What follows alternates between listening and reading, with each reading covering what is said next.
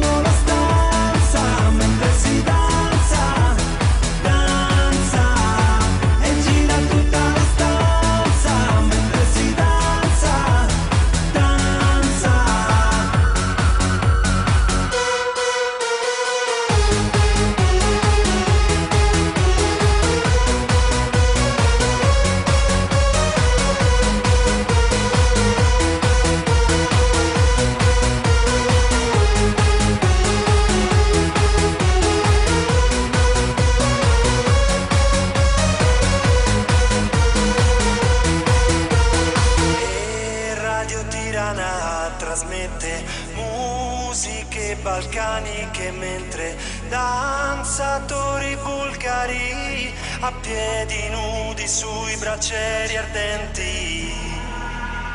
E Radio Tirana trasmette